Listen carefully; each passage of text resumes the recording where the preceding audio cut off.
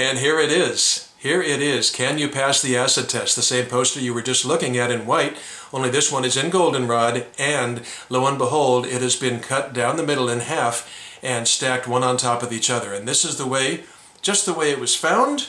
And if I can get this up here to get you a little, uh, make sure you make a, get a really good look at the venue information, you will see, lo and behold, look what they did for the venue information. Instead of writing it in by hand, isn't that ingenious? That was easy. They just stapled in a business card for the big beat. Excuse me, this is totally legit, totally authentic, no question about it. Came from a great source. But look at that, it's just, you know, they just, it's the sample business card says it all, except the date, of course, but the poster says this Saturday night, so that's all covered. And the business card says, in case you can't read it, The Big Beat, 998 San Antonio Road, Palo Alto, California with the, um, of course, the zip code and the phone number. So, and then it's kind of funny, up in the corner there, it had three words and two of them are crossed off. Beer is crossed off, food is crossed off, and dancing is left. So, uh, you know, two, one out of three ain't bad. I don't know. I, I guess I'd probably rather dance than drink a beer or eat food at a special event like this, so it's the best one was left. But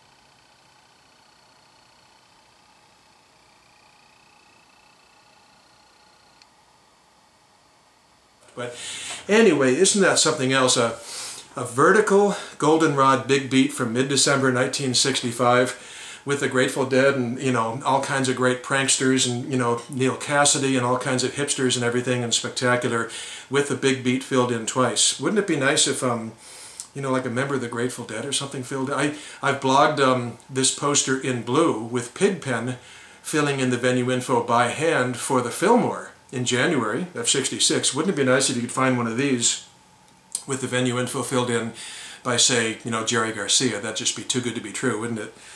Well, stand by.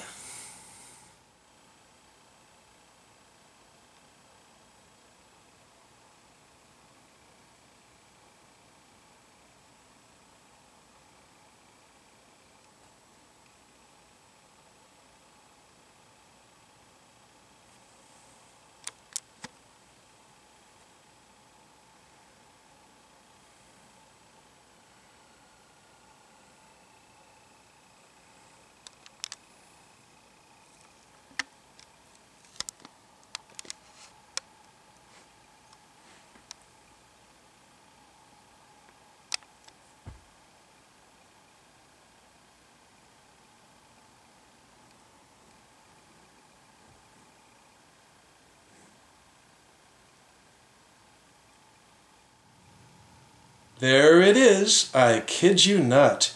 There is the big beat information for this gig filled in by hand by Jerry Garcia, no question about it. The big beat, 988 San Antonio Road, poor Jerry got it wrong there by, by 10 digits, or one digit, you know, 10 numbers, but certainly things are so close together everybody found it anyway.